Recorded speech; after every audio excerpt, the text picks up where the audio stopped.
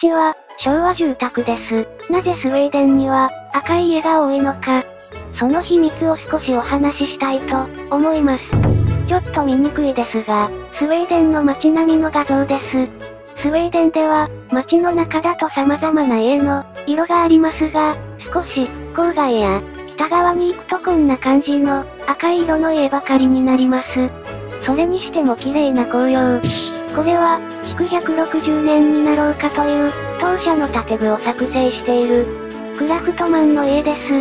やはり、赤い家です。ちなみに前回アップさせていただきました、当社でリフォームした北欧住宅。同じ赤系の色です。こんな真っ赤な家素敵ですよね。この色のことをスウェーデンでは、ファルーンレッド、ファルーンの赤、と呼びます。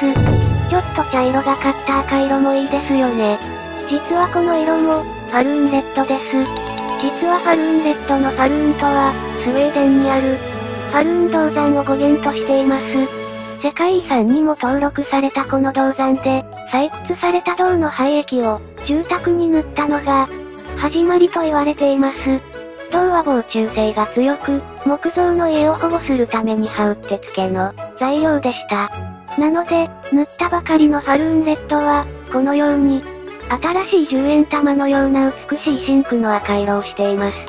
当社オフィスのある、ウプサラに立つファルーンレッドの、家です。年月が経つとこのように酸化して、褐色になっていきます。古い10円玉のような色になります。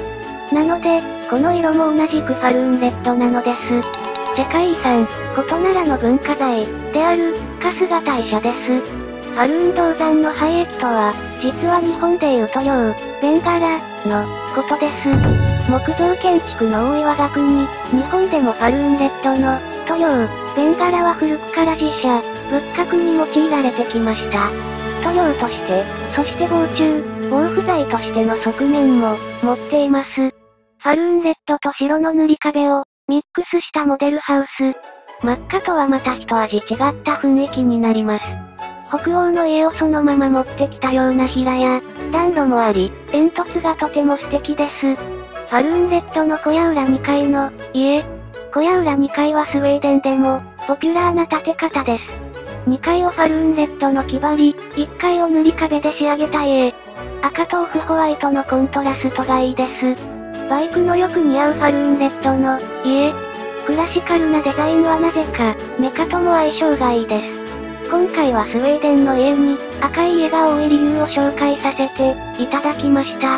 赤い家を見た際にこのことを、思い出していただければ幸いです。写真のお家はホームページに、施工例としてアップしていますので、ぜひ見に来てください。ご視聴ありがとうございました。グッドボタンとチャンネル登録お願いします